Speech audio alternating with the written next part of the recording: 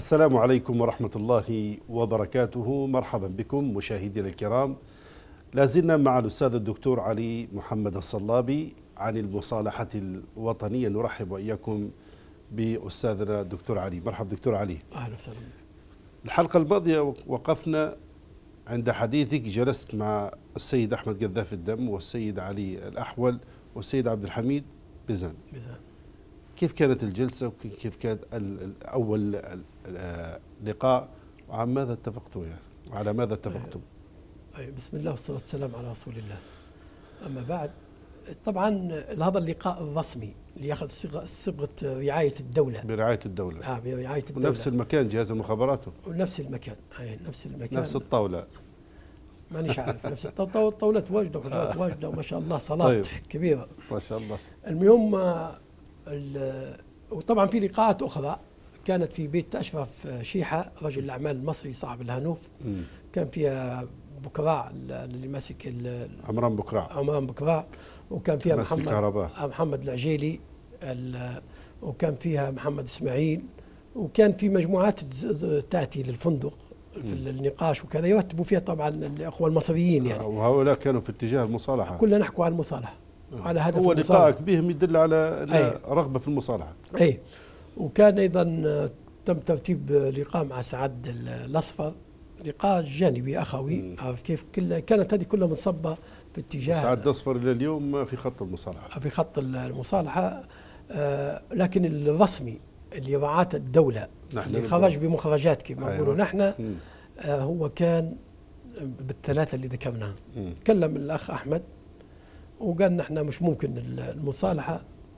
نين تسلموا لنا جثمان القائد ونين آه، تعمل مراسيم دفن تليق بمقامه وحاربتها 35 دولة بريالية و- وبعدين نخشوا في الخطوة اللي بعدها واللي كذا واللي يعني خلى هذه أولوية بالنسبة آه، له. يتكلم بهذه الطريقة هو.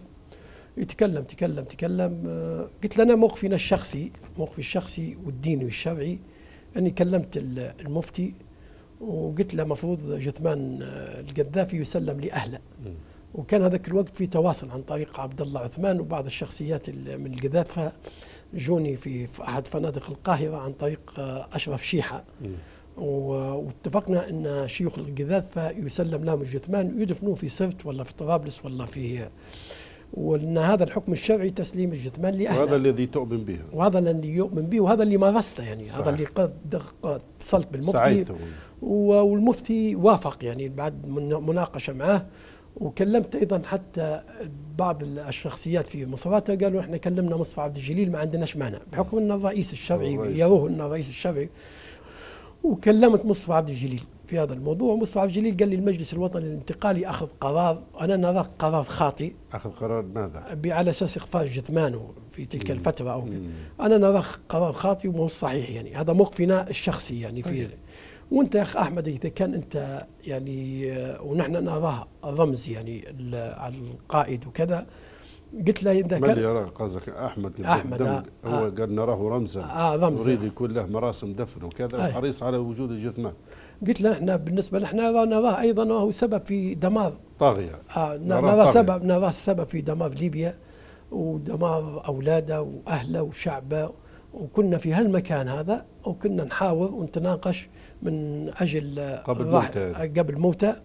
ومن أجل رحيله والوصول إلى كلمة سواء وحفظ العاصمة ومؤسساتها و و ولكن قدر الله وما شاء فعل. ويبدو إنك يا أخ أحمد من البداية إنك أنت مانكش ناوي على الصلح يعني كما نقولوا. عليت آه، آه، السقف انك مش ناوي على الصلح وكذا. وكانك انت عندك نية صلح حقيقي. خلي غير ال- الليبيين يتصالحوا مع بعضهم. وتقوم الدولة وياخذ القضاء مجراه. وبعدين ترفع قضايا آه، في القضاء الليبي من أولاده أو من أحفاده. وهذه أنا نراها قضية عادلة. آه، وأنا طبعاً عندي نظرة قدرية أخرى في الموضوع.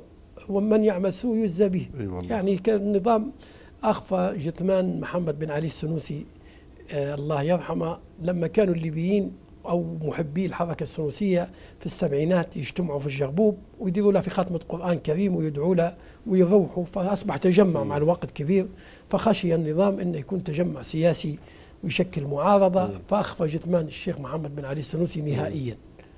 فالجزاء وكذلك شهداء بسليم آه، وقلت له أيضا شهداء بوسليم وكان شهداء بوسليم في المفاوضات بين النظام وبين أهالي بوسليم يبوا جثمان. وكانوا كانوا بعض المسؤولين في الليبيين يقول تحول المسألة للقضاء. مم. فهذه ممكن تؤجل للقضاء إن كان فقال هذه مسألة قدرية. هذه مسألة قدرية. كانت هذيك ولو, آه. ولا ولو كلمة على ضفاف دكتور كانت المرأة التي تخرج كل يوم سبت وفاقد أولادها وتدعو ربها يقول جعلنك يا قاتل ظنانة تموت وما تلقى جبانة. هذا هذا من الأشياء القدرية أيضا. من يعمل سوء يجزى به. المهم لكن من حيث الحكم الشرعي والذي ينبغي أن يكون يسلم الجثمان. وإذا كان نحن نبغى مصالحة حقيقية. حقيقية وكذا نبغى نتجاوزوا كثير من الأشياء صحيح. بين الطرفين. تجاوزوا عند الله الباقي سبحانه وتعالى. أيوة لأن العدالة التامة والحاسمة في الآخرة ما أيوة في الدنيا. اي أيوة والله صحيح. تمام؟ طيب. فقال طبعا قال هو شبع موت تو هذا هو أحمد قذاف الدم وحل الوطن تاعنا انه كان الحديث ساخن. ما مش كيف ما نحكي لك أنا تو بهدوء. صح. آه، في انفعال. هذا أول لقاء طبعا. كان في انفعال. لا كان التقينا به قبل قبل. أول لقاء كان مفاوضات كان مفاوضات ذاك لقاء استثنائي عابر. إيه. وقال وبدينا كما نقول في النقاش علي الاحول الشيخ علي الاحول قال نحن بالنسبة لأحمد قداف الدم نحن ما جبنا. الإخوة المصريين هم اللي فرضوا علينا. آه.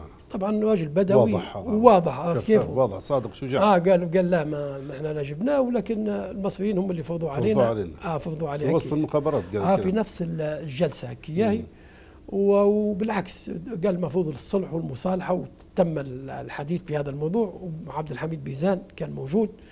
وطبعا اليوم الأول كيف ما نقولوا نحن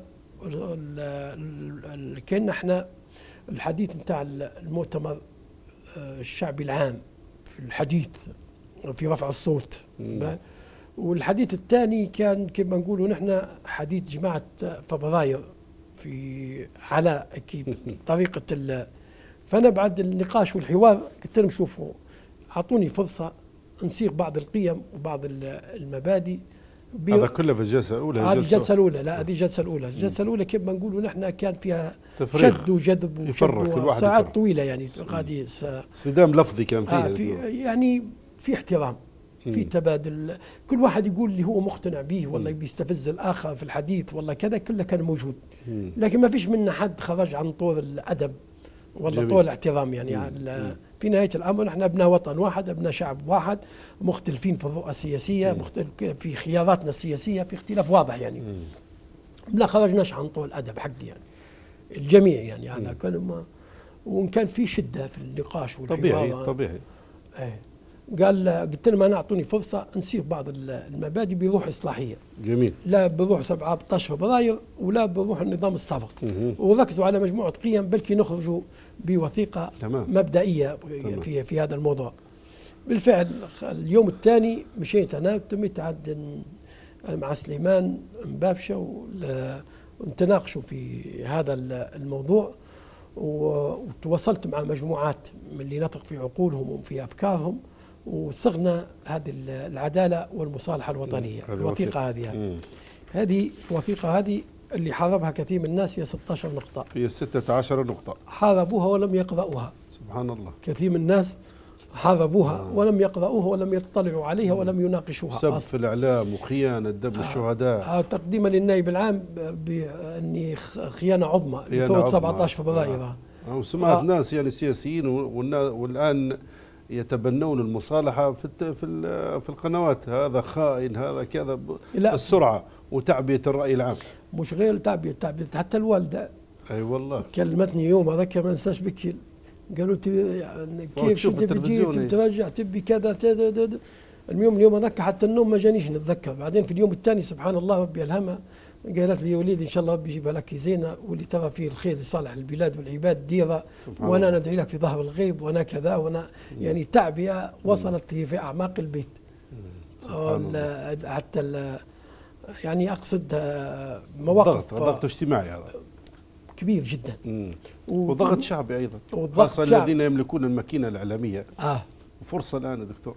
ما في يعني كانت عنيفة ال- الحرب الإعلامية في تل في تلك الفترة وفيها كذب أيضا. يعني إن مثل؟ قلت لي علي بتاع الأستاذ علي الكيلاني آه من, من ضمن الأشياء أنا قرأت في أحد الكاتب مقال الذين آه حضروا معك أستاذ علي كيلاني الشاعر المعروف و وعنده برنامج الآن في قناة الجماهيرية ويدعو إلى ال- أيضا المصالحة. وقولوا أعوذ بالله من الشيطان الرجيم. دائما يجيب في الحكايات ويستدعي في التاريخ القبائل وي- ويدعو الناس للاستعاذة من الشيطان الرجيم. ونحن نقول أعوذ بالله من الشيطان الرجيم يا أستاذ علي. وإن شاء الله ربي يحقن الدماء الليبيين ويجتمعوا على كلمة سواء. فمن ضمن الحكايات اللي مذكورة إن داخل الأستاذ علي كلالي كان موجود ولما رأى دكتور علي الصلابي وقف ورفض إنه يجلس مع يمثل فبراير وطلع وترك الجلسة فهل كان حاضر لا هذا؟ كله من الأكاذيب وكله من الأباطيل تبعها دولة هذه مش آه. الجلسات هذه تبعها دولة المصرية يعني وحتى ما- عقل علي كيلاني يعني. الذي أراه الآن في إذاعة الجمهوريه يتحدث عقله هو الذي تابع فيه أنا لا يفعل هذا الفعل بالعكس هو يدعو لحقن الدماء ويجتمعوا الليبيين والبلاد راحت. ورأوا نتيجة ال- العناد والمكابرة أن مزيد من الاحتناب مزيد من الاحتراب مزيد من فقد الدماء مزيد من الثكالة واليتامى والأيامى والأرامل إلى وين سي- سيصلون. فهذه هذه الوثيقة الحقيقة آه، كشفت على سطحية الوعي حتى لدى لدى الشعب يا دكتور. لا ما تقولش لدى الشعب لا لا لا أقول لك ليش أقول لك ليش أنا. لأن صدقوا كل ما يقال في الإعلام. هم مش صدقوا. مبدأ ومبدا المصالحة نفسه كان غايب على الناس. بغير اليوم 2018 اليوم لقي موضوع المصالحة كل الناس تتحدث عنه. هو طبعا بعد نحن ال- رجعنا في اليوم الثاني رجعنا اليوم ال- الثاني كان الشيخ علي الأحول والأخ أحمد قداف الدم وعبد الحميد بيزان كانوا داعمين بصراحة كان الجولة الثانية أفضل من الجولة الأولى بكثير آه, آه. طبعا علي الأحول قال ما إذا في آه، الدم إيه. إحنا ما جبناش اي قال لك قال الأخوة المصريين هم اللي فرضوا طيب. علينا اي المهم نحن بديت أنا في ال- الصياغة وشاركني فيها العديد من الناس آه. وبعدين بدينا نناقشوا مم. معهم وفيه زيادة وفي نقص وفي كذا خرجنا بالوثيقة مش الحالية موجودة في النت هذه الوثيقة هذه مش. عارف نظني موجودة مش موجودة مانيش مم. عارف يعني مم. ممكن تكون موجودة ولا لا لا أدري يعني المهم طيب. هذه الوثيقة التي لم يقراها أنا في برنامج مع فتحي بن عيسى مم. في العاصمة مم. حول بعد ما رجعت لطرابلس وصار جدل وصار كذا وعلى الهواء مباشرة وجمعة الوسطى كان داعم لخط الحوار والمصالحة. بتاع أحمد قداف الدم. دم. بشير آه، الكبتي كان ضد. محمود جبريل كان ضد. محمود شمام كان ضد. المهم كانت حملة كبيرة في تلك الفترة. من ضمن الناس اللي داعمين كان من باب الإنصاف للحقيقة. مم. جمعة الأسطى الجمعه الوسطى. مع أن يعني هو يعتبر في نفسه خصم سياسي بالنسبة لي أنا آه، والعاصمة يعني كذبت واجد على شخصي يعني. وخصوصا في أحداث آه، آه، فجر ليبيا أن اللي يقود في المعركة من ليبيا الأحرار من- إدارة ليبيا الأحرار تقاد يجيبوا فيها على الشريط. علي الصلابي مع أن فجر ليبيا قيدها السياسي واضح كانت العاصمة و- والدولية آه إيه كان الدولة. الفجر ليبيا القائد السياسي واضح مساهمين في تصريحاته في مواقفه صحيح والمؤتمر الوطني العام والقيادة العسكرية عند صلاح. العميد صلاح بادي وكان عندهم أظني كل مؤتمر عسكري ولا صحفي ولا يعني أقصد معلن ما كانش حدث إعلامي اللي هو ما كانش ما المهم لكن عموما في الموقف هذا كان مع خط المصالحة الوطنية. في ال- وخصوصا الحملة اللي جاءت من قبل الإعلاميين الليبيين والمؤسسات اللي يملكوها. فجمعة قال لي أنا مستعد تظهر في العاصمة وتحكي شو اللي صار. قلت له أنا ما عنديش مانع. هذا كيف وجاء تهديد للعاصمة إذا خرج على لو كان على الهواء مباشرة اللقاء. وجاء تهديد انه إذا خرج كما نقولوا إحنا. يقصفوها يعملوها كذا كذا. أنا توكلت على الله وقلت نمشي. وفي النهاية مساعي خير. والواحد أجل إذا مكتوب لنا يموت في اللحظة هذيك أينما تكونوا يدرككم الموت أيوة. ولو. كنتم في بروج مشيدة أصريت على الذهاب أنا. طيب. ومجموعة من قادة الكتائب خايفين أن يصير هجوم وشو طيب كذا. نكملها بعد الفاصل دكتور علي. ذهابك لقناة العاصمة وكان محتوى البرنامج لأن هذه وثيقة تاريخية. يعني جمعة نصر مع أنه كما ترى هو خصم سياسي لكن كان يدعم في خط المصالحة بخلاف بعضهم اللي كانوا مع يظهر الناس اللي في خط الثورة كانوا ضد المصالحة. ناخذ فاصل ثم نعود هو يرى أني خصم سياسي. هو يرى هو, هو يرى. وأنت لا تراه خصم سياسي. أنا نرى مواطن من المواطنين الليبيين من حقه يطرح فكرة واراءه وإذا اللي يختار الليبيين أنا معه. طيب بعد الفاصل مع الوان الطيف الليبي طيب من خلال صندوق الاقتراع فاصل ونعود إن شاء الله دكتور علي.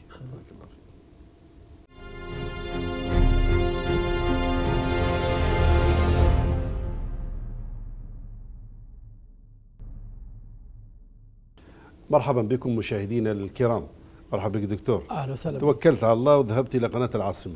رغم التهديد بقصفها ووضع عراقيل في في في لعدم ظهورك في قناة العاصمة للحديث عن موضوع جلستك مع أحمد قذاف الدم والدكتور علي الأحول موضوع المفاوضات المصالحة في في القاهرة برعاية الدولة المصرية.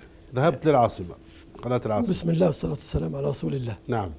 طبعا إحنا جلسنا في في مصر تفهمنا على 16 نقطة وكانت إيجابية. وبمجرد ما وصلنا للفندق الفندق بدينا نتغدوا وبالأخبار انتشرت في المشارق والمغارب هذا الاجتماع السري. هذا الاجتماع السري. والتليفونات بدأت تنهال. أي أيوة والله. وفي اللي استفسر مو تغديت ولا؟ آه. وجدت على الغداء. أيوه وكانوا وفي التسريب إنه كان شخصية أمازيغية كاتبين. الله الله. آه أستاذ سليمان بابشة. فتو تو بيعرفوا من الشخصية الأمازيغية عرفت كيف؟ اللي موجودة آه. في المفاوضات يعني. أي والله. مسكوا في قصة الشخصية الأمازيغية بيعرفوها من هذه يعني. آه. المهم انتشر انتشر مع بهارات ومع أكاذيب ومع افتراءات ومع اختلاق ومع ومع ومع والات الإعلامية للطرفين. المحسوبين على سبتمبر والمحسوبين على فبراير. وضد المصالحة. وضد المصالحة. المصالحة وضد وما قروش حتى القيم هذه. يعني وبدأت وكالات الانباء تتواصل وتبي تفهم وتبي كذا. أنا ادبيا دازني الشيخ مصطفى عبد الجليل. وهو رئيس المجلس الوطني الانتقالي. ونبقى نصرح في الإعلام بدون ما نوصل له النتائج والكذا. حسيتها مش ما طلعتش تصرح أنت. لا ما صرحتش هذيك الوقت. وحتى لما جيت طرابلس ما ظهرتش. على طول نين جاء السيد المستشار من المنطقة الشرقية وجاء لطرابلس. وبعدين مشيت أنا للمفتي في بيته وقريت عليه المواد وش اللي صار وش اللي كذا. وقلت له كان في شيء يخالف الشريعة قول لي عليه يعني. قال لي ما في شيء يخالف الشريعة. وكل الله. آه يعني من حيث المبادئ من حيث يعني دعمك المفتي. في الورقة اللي طلعت عليه في بيتها قال لي لا يوجد شيء يخالف الشريعة. تو على الناس يعني. تمام تمام. طيب. ومشيت لمصطفى عبد الجليل وحدثتها بال بالنقاشات وبالحوارات واعتبرها نتائج إيجابية. وبعدها أنا طلعت مم. في العاصمة. بعد ما طلعت في العاصمة وبينت الموضوع هذا. وكان فتحي بن عيسى هو اللي يدير في في موجود حتى على اليوتيوب هذا. هذا موجود. طبعا نحن الوثيقة ممكن تسألني عليها آه نقطه نقطة يعني مثلا دكتور الآن لما لما رجعت لليبيا و وأطلعت المستشار مصطفى عبد الجليل حول النقاط. يعني من ضمن النقاط ال 16 اللي تم الاتفاق عليها التي لم يقرأها البعض وشنوا حربا عليها آه. الأولى إقرار مبدأ العدالة والمصالحة الوطنية ووضع ثوابت لها. هو طبعا إحنا شلنا إحنا قلنا في مقدمة قلنا اساءه لمبدأ العدالة والمصالحة الوطنية واحقاقا للحقوق وإقرارا لمبدأ المحاسبة وسعيا للوصول للمصالحة الوطنية وبتكليف من السيد المستشار مصطفى عبد الجليل. نعم. تم اللقاء في القاهرة للمناقشة والحوار مع أبناء الوطن. المخالفين لنا في الرؤى السياسية م. والذين تم بيننا وبينهم اشتباكات وقتال ودمار يعاني منه الشعب الليبي كله م. للبحث في كيفية الوصول للثوابت التي ترجع بالخير على الليبيين وتخفف المعاناة وتجمع شمل الليبيين في دولة العدالة والحرية والمساواة والقانون نوقشت النقاط المتعلقة بالعدالة والمصالحة الوطنية على النحو التالي. طيب هذه ورقة مبادئ. خلينا أول نقطة. النقطة الأولى هذه اتفاق عليها. إقرار مبدأ العدالة والمصالحة. والمصالحة الوطنية ووضع ثوابت له. يعني هذا المبدأ هو مبدأ العدالة والمصالحة الوطنية هذا مبدأ أصيل. تمام. وكنا متفقين عليه. جميل. ونضع ثوابت لهذا المبدأ. باي. جميل. ثانيا. النقطة الثانية العمل على الإسراع في تفعيل القضاء. وتقديم المهتمين لأخذ المتهمين. الجزاء آه، ال- المتهمين لأخذ ال- الجزاء العادل وإطلاق سراح المساجين الذين لم يثبت عليهم التورط في أي أعمال مجرمة قانونا وإحالة آه، القضاء. مجرمة قانوناً، مجرما أيوة. وإحالة القضايا المتعلقة بالقتل وانتهاك الأعراض وسرقة المال العام إلى القضاء. لأي كان من أبناء الوطن المختلفين في الرؤى السياسية. يعني من الطرفين. من الطرفين لأن هذه قيم ومبادئ أنت. آه، هذه؟ قيمة انتهاك أعراض سرقة مال عام يحال لقضاء. سواء كان من فبراير أو من آه، من سبتمبر أو من يعني الثورة تثبت. عليه هذه من خلال- تثبت عليه تمام. ما فيش آه. حماية ما في- لأن هذا حماية ثورية. لا ما فيش. إنما هو العدالة والمصالحة كما ذكرت. تمام. طيب حق الأسر هذا النقطة الرابعة حق الأسر الليبية لا، أو. تحديد. تحديد هذه النقطة الثالثة تحديد المطلوبين للعدالة. وذلك من خلال لجنة من أبناء الوطن المختلفين في الرؤى السياسية يشهد لها بالنزاهة والحيادية. أن اللجنة مشتركة. آه. من فبراير ومن محسوبين على سبتمبر ويتم اللي اللي ثابت عليهم من عن طريق النائب العام. ال- القضايا تحدد. وبعد يكون في عفو عام يعني. جميل، هذا جميل. كان يعني خطوة نحو العفو العام يعني. العدل بعد ذلك العفو. أي طيب النقطة الثالثة حق الأسر الليبية. في الرجوع إلى بلادهم وإرجاع ممتلكاتهم الثابتة لهم بالملكية الشرعية والقانونية آه. ونحن على فكرة في موضوع السجناء سعينا ووفقنا الله سبحانه وتعالى إخراج العديد يعني من طرابلس ومن آه، بنغازي ومن مصراتة وإرجاع بعض الممتلكات. ورجع يعني سعينا في صحيح. بس بس مش على مستوى سلطان الدولة على مستوى العلاقات في تلك المسألة دي متأكد أن المصالحة الحقيقية شاملة تحتاج إلى الدولة هي تمام. أي. طيب النقطة الخامسة بهذه الكلام هذه آه. آه. شنو ال- الليبيين اللي يسمعوا الآن لو تحقق في تلك الفترة يعني هذه تنسمع رأي من خلال ال- الصفحة والموقع اللي, اللي أي. إن شاء الله نتلقى من خلال يعني الانطباعات حق, على هذه الحلقات الليبية في الرجوع إلى بلادهم وإرجاع ممتلكاتهم هذا لا يختلف. عليه إنسان آه تمام كمل. تمام أي. آه، ال- النقطة الخامسة التأكيد على أن ليبيا للجميع ومحاربة الفتن والإقصاء والتهميش والتنابز بالألقاب بين كافة أبناء الشعب الليبي. أنا دائما نقول أن لفظ الأزلام محرم شرعا. لأنك يستخدم لما تقول الأزلام ال- بالإطاحة بالإطاحة والتنابز. وأيضا الجردان. محرم شرعا. والطحالب والفيران محرم هذا ولقد كرمنا بني آدم. صح. حتى الفئران. يعني أه؟ حتى الفئران.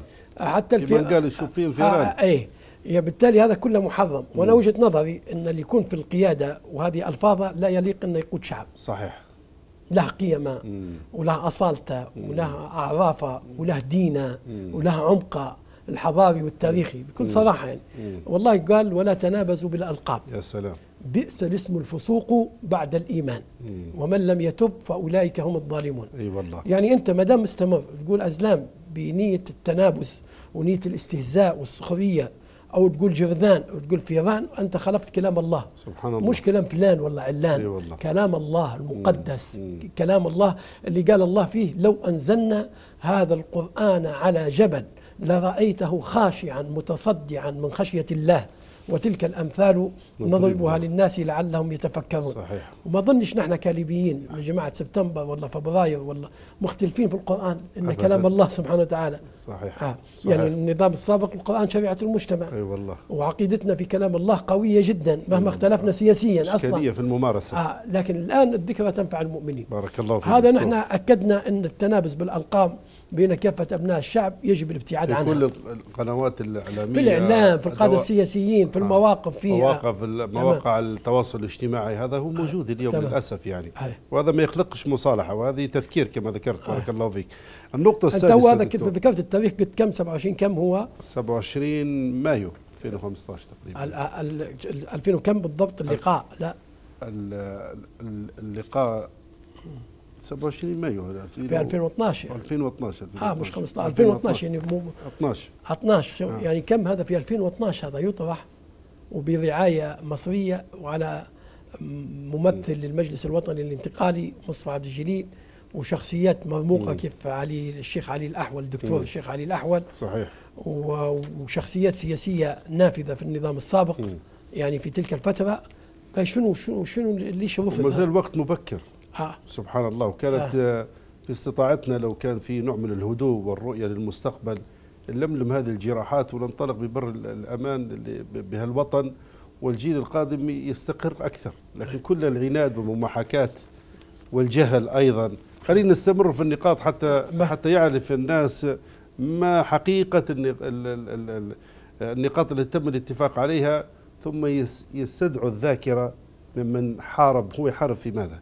هل يحارب في شخص أو يحارب في قيمة؟ والإشكالية هنا دكتور. في لأنه شخصك تبنيت هذه هذه النقاط مش بيني وبينهم عداوة شخصية. الله سبحانه وتعالى. فهم يتركون الفحوى والمضمون. وهذا بعيد عن الموضوعية خلينا النقطة السادسة دكتور. نحن يهمنا يهمنا الناس تفهم الحقيقة حتى لا يدلس عليها ولا يراهن على على نسيان الشعوب أو ذاكرة الشعوب ونسيان الأحداث. هذه وثيقة تاريخية لابد أن يعرفوها.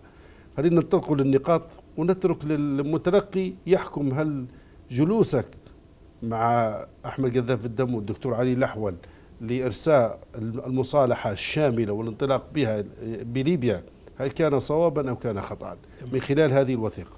النقطة السادسة دكتور ذكرتم اتفقتم عليها معاملة الأرامل والأيتام في ضحايا الحرب كمواطنين ليبيين. طبعا من كل الأطراف. من كل الأطراف. والعمل على رفع الضرر المادي والمعنوي عن كل المتضررين. تمام. وفقا لمبادئ الشريعة الإسلامية وحقوق الإنسان والمواثيق والأعراف الدولية والإعلان الدستوري. أيوه. نحن ذكرت مسلمين تقاتلوا. الآن بيتصالحوا. يصالحوا. آه تمام. ما فيش حاجة اسمها طبقة يناس 17 فبراير. شهدائهم والتانيين لا ما هم شهداء. ولا لأنهم كذا ولا أنا. كلهم يتعاملوا الليبيين كلهم كيف بعضهم. وهذا كله في 2012 آه, آه الارامل الليبيين كلهم كيف بعضهم الطرفين أيتام الليبيين متع... من القتلى الليبيين كلهم يعني بينها قتال بين المسلمين. أي أيوة والله. وفق الرؤية الشرعية. صحيح. هذه كانت واضحة وصلنا إليها بقناعة تامة. يعني هذا الوقت نحكي فيها مم. إن هذا قتال له تاصيله الشرعي كما تعرف أنت. وحاولنا نحطه في الوثيقة وال و ويكون أصل من الأصول. لأنك أنت لو تقول لا الارامل فبراير وأيتامهم لكن الآخرين هذا ظلم. هذا طغي الغلبة. أو هذا أو هذا فرض ظلم وما هوش عادل. وخروج على المحتوى الحقيقي لفكرة المصالحة أصلا وروح المصالحة الوطنية. طيب النقاط التاليه نكملها الحلقة القادمة دكتور. مشاهدينا الكرام حتى ألتقي بكم في الحلقة القادمة بإذن الله تعالى. دمتم في رعاية الله والسلام عليكم ورحمة الله وبركاته.